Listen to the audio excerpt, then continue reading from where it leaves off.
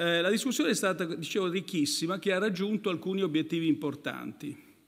Prima di tutto la condivisione dell'impianto fondamentale della riforma, la delimitazione delle aree dove, delle, dove permangono delle differenze di vedute, di opinioni. L'impegno, e questo è molto importante, l'impegno ad adoperarsi con i capigruppo a dare priorità assoluta in Parlamento per l'approvazione della riforma in tempo utile per l'elezione del prossimo Consiglio Superiore della Magistratura. E la consapevolezza della necessità di un pieno coinvolgimento delle forze politiche insieme al rispetto dei tempi è stata un'altra, un'altra cosa, caratteristica condivisa. Quindi niente tentativi di imporre la fiducia così, ci vuole un accordo, ci vuole condivisione, è un provvedimento di, di portata tale che eh, necessita di questa apertura. Il governo dovrà fare un altro intervento e credo di poter dire sotto il controllo del Ministro Franco che eh, questo intervento sarà presentato la prossima settimana. Posso, posso, soltanto dare le linee fondamentali. Le linee fondamentali sono, c'è una parte di questo intervento che è fatto di sostegni, cioè di dire, cercare di contenere l'emergenza. Poi c'è una parte più strutturale che è un intervento sull'offerta di energia, quindi potenziamento delle rinnovabili, potenziamento della produzione di energia. Eh, vorrei anche aggiungere un'altra cosa però.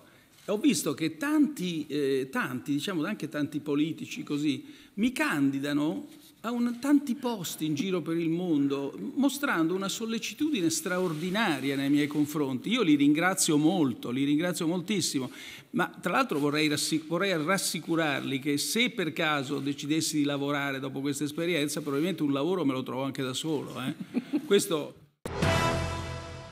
Era una riforma ineludibile per una ragione imminente che è la scadenza del Consiglio Superiore attualmente in carica e che dovrà rinnovare le proprie, con le proprie elezioni nel mese di luglio, ma anche per accompagnare, per stare a fianco della magistratura in questo percorso di rinnovamento e pieno recupero della fiducia e della credibilità su cui ancora pochi giorni fa il Presidente della Repubblica ha fatto un richiamo importante nel suo messaggio alle Camere. Eh, sia chiaro, questo percorso di rinnovamento è innanzitutto un percorso eh, che ha a che fare con l'attitudine personale delle persone, lo diceva la Corte Costituzionale, una forma mentale, un costume, una coscienza, ma norme più adeguate e più rigorose possono sostenere la magistratura in questo percorso. Allora, il PNRR eh, nasce avendo a mente l'obiettivo dell'inclusività che si declina eh, inclusività verso i giovani, verso le donne e verso le aree del Paese eh, in situazione economica meno eh, favorevole. Non a caso il 40% delle risorse del PNRR è destinato alle regioni eh, meridionali. Il recupero eh, delle regioni meridionali rispetto al resto del Paese è nell'interesse fondamentale di tutto il Paese.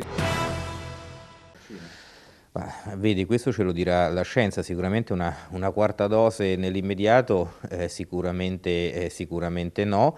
Eh, un richiamo annuale, così come avviene per eh, diciamo l'influenza, eh, sarà probabilmente necessario, verosimilmente fortemente raccomandato, bisognerà vedere il quando, a seconda della circolazione del virus, a chi, quindi a chi sarà fortemente raccomandato e anche con quale vaccino.